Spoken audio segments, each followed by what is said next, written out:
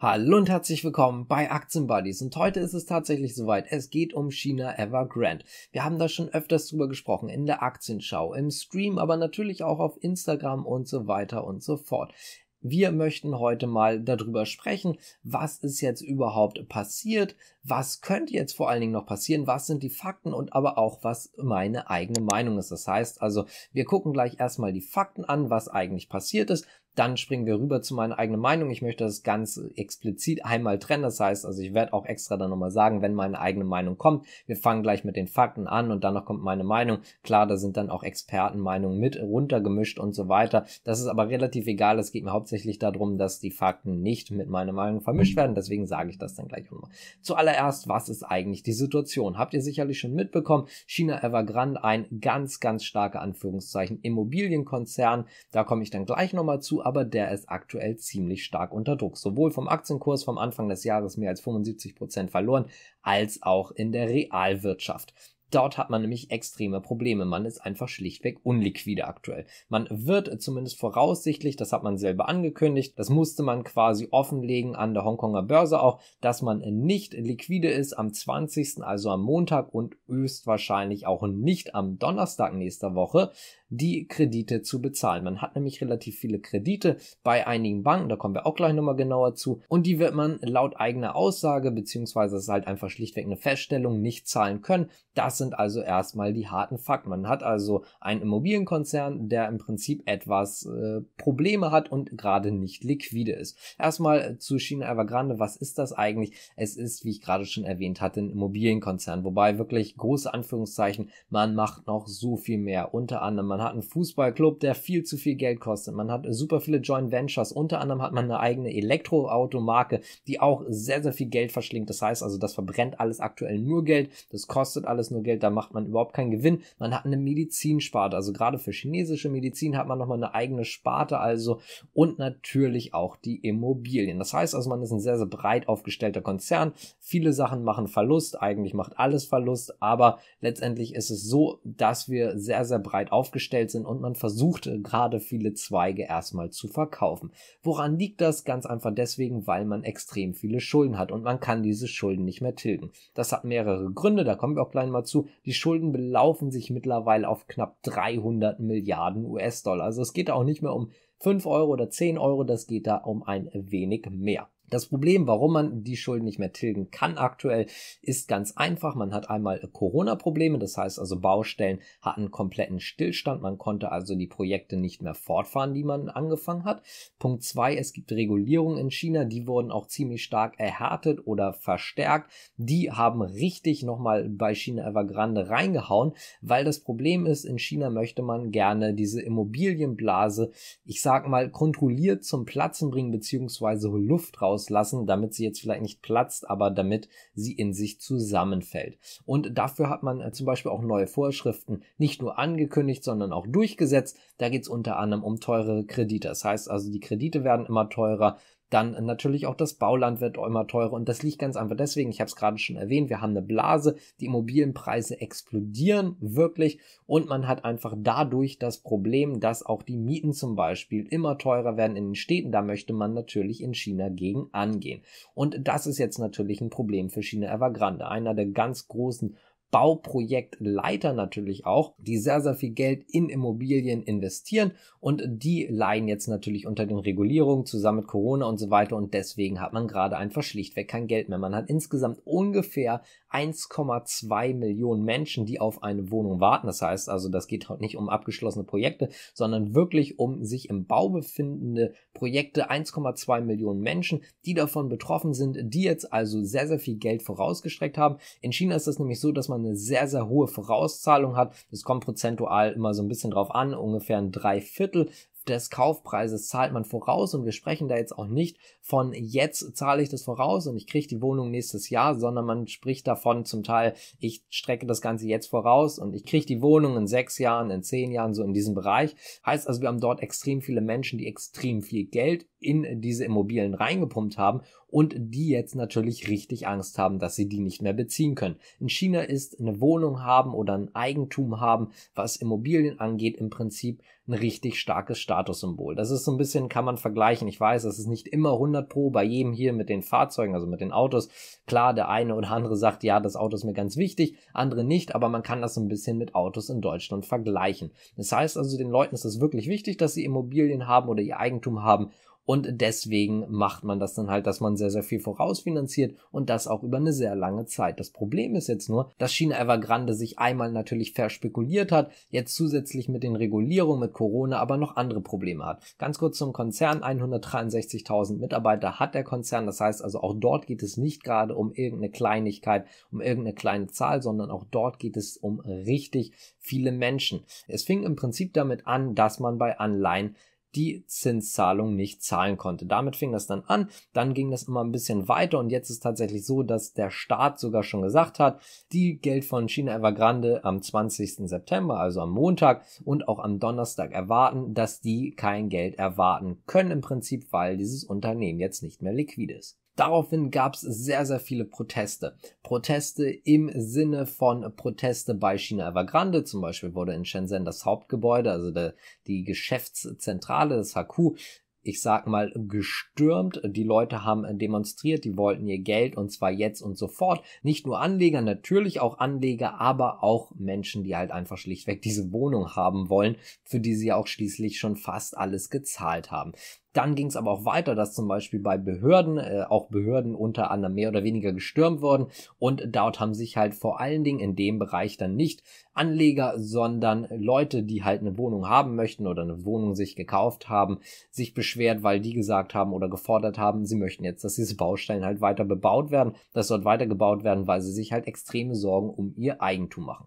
Das hat zusammen mit der generellen Nachricht dass man ja eh schon gesagt hat, okay, wir sind nicht liquide, es wird jetzt Probleme kommen und dass der Staat das natürlich auch nochmal gesagt hat, zu relativ oder sehr negativen Nachrichten geführt. Und diese negativen Nachrichten sind ja nicht nur einfach negativ, sondern die haben auch eine Auswirkung. Personen lesen das, äh, haben da nicht mehr so viel Vertrauen und so weiter und so fort. Und genau das trifft China Evergrande jetzt quasi in der zweiten Welle. Das heißt also, sie haben sowieso schon das Problem, dass sie kein Geld haben und jetzt, seitdem die negativen Nachrichten wirklich groß sind und wirklich immer mehr Aufmerksamkeit bekommen, haben sie auch noch ziemlich starke Umsatzeinbußen. Das heißt also, es gibt Geschäftspartner, die kündigen ihre Verträge.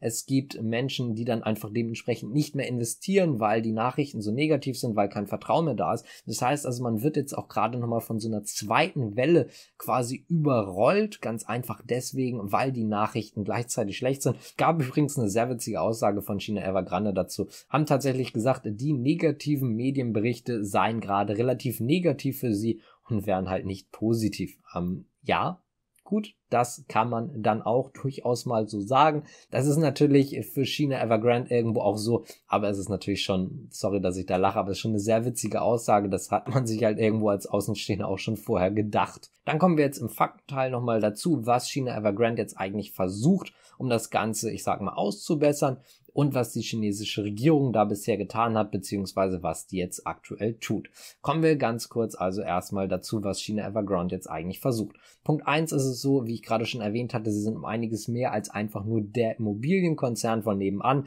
sondern sie haben halt schlichtweg auch andere Sachen, zum Beispiel eine sehr, sehr verlustreiche Elektroautobranche. Jetzt hat man zum Beispiel mit dem deutschen Zulieferer, kennt ihr vielleicht Heller, hat man Joint Venture und dieses ganze drumherum soll jetzt verkauft werden. Man braucht ganz, ganz dringend Geld, man braucht dieses Geld im Prinzip sofort und da gibt es auch Investorengespräche. Das heißt also, es gibt viele Investorengespräche, in denen es einfach schlichtweg darum geht, was kann ich jetzt verkaufen und ich möchte es möglichst schnell verkaufen. Das tut China Evergrande also eigentlich aktuell dafür, dass sie im Prinzip aus dieser Krise rauskommen. Man muss auch sagen, sie versuchen natürlich auch Teile des Immobiliengeschäfts zu verkaufen. Dadurch, dass aber der chinesische Staat sehr, sehr viel reguliert, da komme ich gleich nochmal zu, und dadurch das ganze Immobiliengeschäft gerade zumindest relativ unattraktiv ist, auch vielleicht für die Preise, die China Evergrande dafür braucht, ist es einfach sehr schwer, Abnehmer zu finden in diesen Bereichen. Und genau das hält sie gerade davon auf, sehr, sehr viel quasi zu verkaufen und sehr, sehr viel Geld rauszuholen, damit man zumindest mal die Kredite wieder zurückzahlen kann.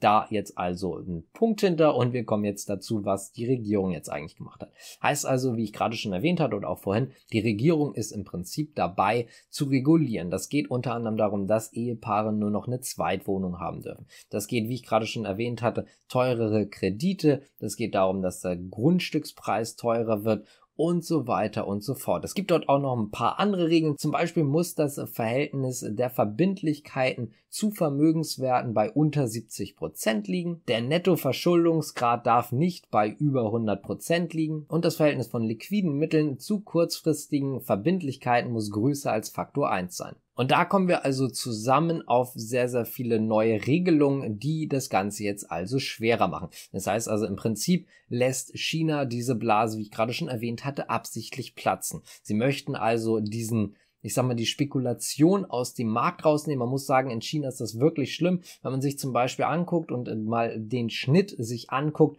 dann sind Immobiliengeschäfte, also was Blase im Prinzip angeht, sind renditereicher, um einiges renditereicher als zum Beispiel der Aktienmarkt. Das heißt also, der Immobilienmarkt boomt dort wirklich, im Gegensatz zum Beispiel zum Aktienmarkt. Und da sind dann dementsprechend natürlich extrem viele Spekulationen. Und um diese zu unterbinden, hat man gesagt, okay, wir stellen jetzt Regeln auf, wir wollen, dass die Blase platzt. Die soll vielleicht nicht einfach so platzen, aber wir möchten gerne, dass die Luft rausgelassen wird. Und dadurch kommen natürlich auch Riesen wie China Evergrande in ziemliche Probleme. Jetzt ist natürlich auch die Frage, was macht der Staat damit? Es ging jetzt lange Zeit immer so ein bisschen hin und her. Unterstützt der Staat, unterstützt der Staat nicht? Der Staat hat sich dazu selber im Übrigen nicht geäußert. Aber jetzt kam tatsächlich von einem Autor von der Global Times, ein sehr, sehr anerkanntes Blatt in China vor allen Dingen sehr, sehr, ich sag mal, parteinah beziehungsweise regierungsnah, so wie viele andere Blätter und Medien dort auch. Und dort hatten auch sehr anerkannte Autor tatsächlich gesagt, dass man das Ganze so ein bisschen auch mit Lehman Brothers von damals vergleichen kann, aber China Evergrande wird nicht ansatzweise diese Auswirkungen auf die Wirtschaft haben und dementsprechend wird es wohl keine staatliche Unterstützung geben. Das also erstmal dazu. Heißt also, prinzipiell der chinesische Staat hat sich dazu nicht geäußert. Sehr, sehr nahe Medien haben sich dazu geäußert. Man muss dazu sagen, das stimmt nicht immer 100% überein, natürlich nicht. Nur weil in den Medien irgendwas gesagt wird, heißt das nicht immer hundertprozentig, dass das genau die Meinung der Regierung ist, aber es ist schon relativ nah. Also geht man aktuell davon aus, dass die chinesische Regierung nicht unterstützt. Und das ist aber natürlich auch eine relative Sache. Damit kommen wir jetzt nämlich zum letzten Punkt. Es gab natürlich eine ziemlich große Verunsicherung, auch gerade wenn die chinesische Regierung nicht mithilft. Heißt also, der Aktienmarkt ist ja ziemlich abgeschmiert, wie wir gerade gesagt haben. Auch generell viele andere andere Konzerne sind dort natürlich unter Druck, denn China Evergrande hat ja nicht die Schulden im Nichts, sondern die haben die Schulden bei anderen Unternehmen, bei Banken. Da gehört zum Beispiel auch die ICBC zu. Insgesamt ist es so, dass 90 Prozent der Schulden bei Banken sind. Das heißt also, auch dort ist eine extreme Angst, dass da jetzt irgendwas passieren kann. Und um das so ein bisschen aufzulockern, hat man sich entschieden, dass die People's Bank of China dort über 13 Milliarden US-Dollar umgerechnet einfach mal in den Markt reinpresst, im Prinzip gerade in den Bankensektor reinpresst, einfach nur um die Situation jetzt etwas zu beruhigen. Das heißt also aktiv rein jetzt auf China Evergrande bezogen, macht der Staat jetzt vielleicht nichts, aber zumindest geht man in die Richtung, dass man den Markt damit natürlich auch ein bisschen beruhigt. Und ich habe es gerade schon mal angeschnitten, letztendlich gibt es viel, viel mehr Unternehmen, die darunter leiden. Es ist halt nicht nur China Evergrande, sondern natürlich auch die Banken. Es sind Unternehmen, es sind Partnerunternehmen, es sind Zulieferer, es sind die Menschen und so weiter und so fort. Da hat man also sehr, sehr viele Problemzonen insgesamt. Zumindest laut dem Autor ist es aber so, dass das nicht zu einer Finanzkrise führen wird. So, und damit kommen wir jetzt auch zu meiner eigenen Meinung. Ganz wichtig nochmal, also explizit nochmal extra gesagt, wirklich meine eigene Meinung. Da muss man jetzt dazu sagen, das ist natürlich basierend auf den Fakten, auch wenn das nicht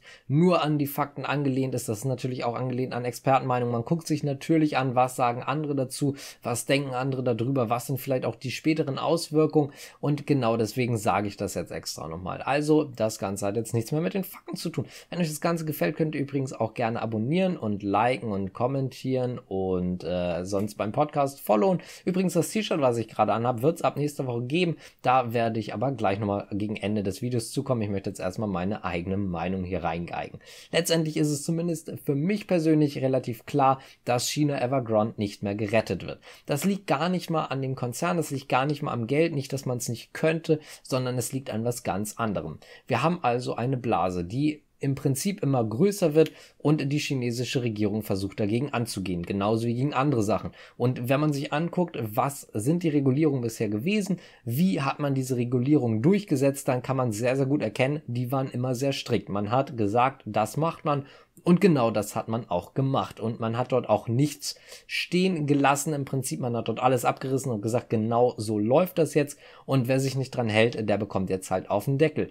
Und ich denke mal, das wird bei China Evergrande genau das gleiche sein. Das heißt also, es liegt nicht daran, dass man das nicht finanzieren kann. Das ist auch kompletter Schwachsinn.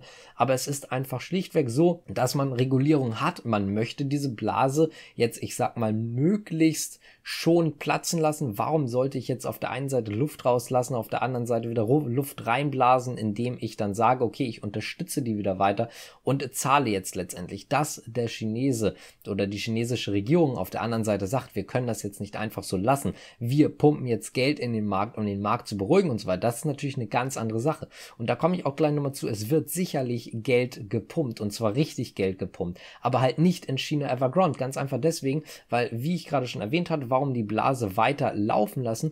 Außerdem läuft es natürlich, so wie es mit diesem Unternehmen läuft, ganz einfach deswegen, weil China Evergrande eigentlich eher in Richtung Luxussegment geht und zum Beispiel in Richtung Einkaufshäuser, Luxusapartments und so weiter. Das läuft jetzt auch nicht 100 pro nach der Nase von Chinas Regierung. Gerade in dem Bereich, dass man sagt, man möchte gerne eine große Umverteilung haben, man möchte nicht, dass die Reichen immer reicher werden. Da zählt natürlich auch dieses Luxus vom Luxusapartment und so weiter von. Das heißt, heißt also, man ist nicht unbedingt ein Staatsfeind als Unternehmen wie Evergrande, aber man ist jetzt zumindest auch nicht der beste Freund, auch wenn man sagen muss, dass der CEO von Evergrande letztendlich wohl zumindest laut Gerüchten recht guter Freund von Xi Ping ist. Er ist auch öfters auf Feiern dabei und so weiter. Nichtsdestotrotz ist die Unternehmensstruktur, so wie sie ist, jetzt nicht gerade China, ich sag mal China regierungsfreundlich und genau deswegen das beides spricht einfach schon mal komplett dagegen, zumindest finde ich das Ganze. Dann hat man noch die beiden Sachen, also die Blase und dass man nicht gerade regierungsfreundlich ist,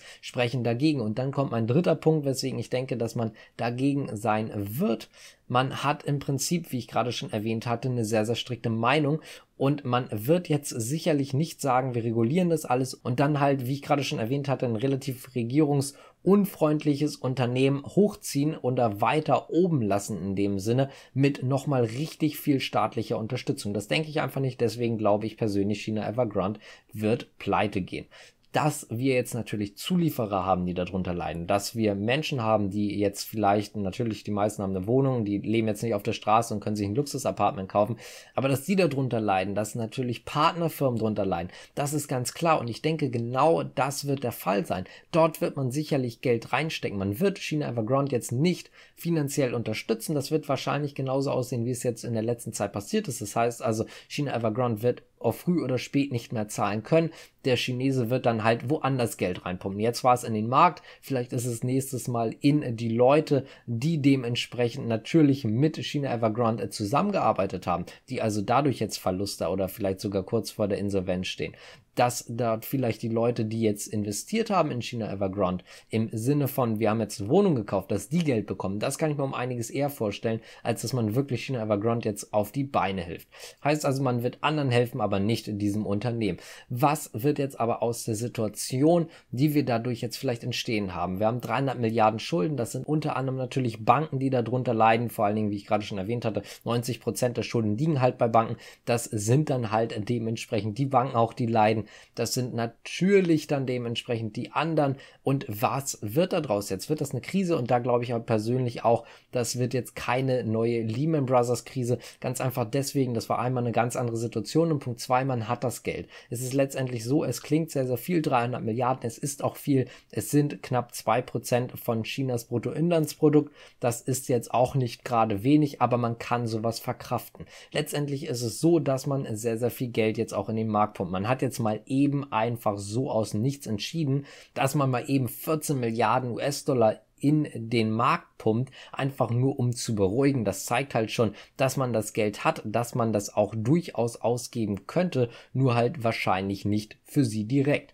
Und das Problem, was wir halt eigentlich auch haben, ist, wir haben einen großen Dominostein, der fällt und man hat immer mehr Kosten. Aber letztendlich ist es in China alles sehr, sehr reguliert. Das Ganze wird zurückfallend auf die Banken sein. Und da gibt es tatsächlich auch relativ interessante Statistiken, dass es die Banken gar nicht so stark trifft. Das heißt also, die Banken sollten dadurch jetzt gar nicht pleite gehen, der große oder die große Angst wäre jetzt ja in dem Fall, dass China Evergrande jetzt pleite geht, kein Geld mehr hat, dementsprechend auch die Kredite nicht mehr zurückzahlen kann und jetzt eine andere Bank pleite geht, die jetzt auch wieder irgendwo Kredite hat und so weiter, also die auch wieder Kosten hat, wo auch wieder viel auf dem Spiel steht, andere Unternehmen vielleicht auch Kredite bei dieser Bank haben und dadurch dann diese Kettenreaktion besteht. Und das denke ich halt nicht, weil die Banken relativ viel haben. Das sind auch Banken, die unter der Aufsicht natürlich, unter sehr, sehr großer Staatsaufsicht stehen und die man durchaus dann auch unterstützen könnte. Deswegen würde ich sagen, big to fail in dem Fall? Nein, auf keinen Fall. Man war nicht zu groß, um äh, dementsprechend pleite zu gehen, weil das Gesamtkonstrukt nicht passt. Wenn man jetzt gesagt hätte, das ist vielleicht noch mehr Geld, das sind vielleicht auch sogar Banken, wirklich viele Banken mit dabei, die dadurch auch pleite gehen können, dann wäre das eine andere Situation. Aber wenn man jetzt wirklich sagt und auch jetzt mal darauf berufen, dass wirklich die Statistiken sagen, die Banken sollten dadurch nicht pleite gehen, dann denke ich das einfach schlichtweg nicht. Und selbst wenn eine Bank pleite in Anführungszeichen geht, wird sicherlich staatliche Unterstützung bekommen. Dafür ist der Staat dann auch letztendlich gerade in diesem Bankenwesen in China zu präsent und zu stark unterwegs. Es ist letztendlich nicht so freie Marktwirtschaft, wie es hier ist. Sei jetzt mal dahingestellt, wie frei es letztendlich ist, aber es ist nicht ansatzweise so. Da muss man einfach sagen, viel mehr Regulierung und deswegen denke ich persönlich, dass man dann eventuell eher halt, wie ich gerade schon erwähnt hatte, die Banken rettet, die Partner rettet und so weiter, als dann China Evergrande. Das also dazu heißt also insgesamt, ich persönlich würde aus den Aktien raus. Es ist einfach für mich so, dass das Ding gegessen ist. Man möchte eine Blase verhindern, man möchte diese Blase langsam platzen lassen. Dann hat man jetzt tatsächlich die Chance, wenn man dieses Unternehmen halt nicht weiter unterstützt. Wenn man dann andere natürlich unterstützt, dann muss man einfach sagen, das ist eventuell auch notwendig. Aber zumindest um diese Blase jetzt platzen zu lassen, wäre das halt einfach jetzt der Weg oder der relativ einfache Weg. Heißt also, man lässt einfach Luft aus der Blase und lässt sie nicht direkt platzen. Das wäre nochmal eine ganz andere Nummer. So, und damit würde ich mich jetzt auch gerne verabschieden. Wie gesagt, das T-Shirt gibt's ab nächster Woche. Da könnt ihr gerne auf der Internetseite gucken. Wenn ihr da jetzt auf Shop geht, dann ist da jetzt noch nichts. Da könntet ihr euch anmelden, dann werdet ihr benachrichtigt, aber das ist noch nicht so wichtig. Wird's dann aber ab Ende nächster Woche geben. Außerdem könnt ihr natürlich gerne auf unserer Internetseite generell nachgucken. Da sind auch immer die News. Da seid ihr dann auch immer auf dem neuesten Stand, auch was China Evergrande angeht. Da werden wir dann natürlich jeden Tag neue News, wenn es dann neue News gibt, dazu posten. Wir werden sehr, sehr gespannt auf Montag natürlich blicken weil es Montag einfach schlichtweg so ist, dass dort die erste Zahlung dann ansteht und wir werden dort sehen, was dann eigentlich passiert. Natürlich wird das interessant. Außerdem, wie gesagt, gerne die anderen Videos, die anderen Podcasts hören und so weiter und so fort. Wenn es euch gefallen hat, gerne abonnieren gerne liken, gerne kommentieren, gerne followen, was auch immer. Ich bedanke mich bei euch fürs Zuschauen. Ah, und noch eine Sache ganz kurz. Bei Instagram haben wir immer sowas wie Blitzpost bzw. Eilmeldungen. Dort erfahrt ihr es auch noch vor dem Video und vor der Newsseite. Deswegen bedanke ich mich. Bis zum nächsten Mal. Ciao.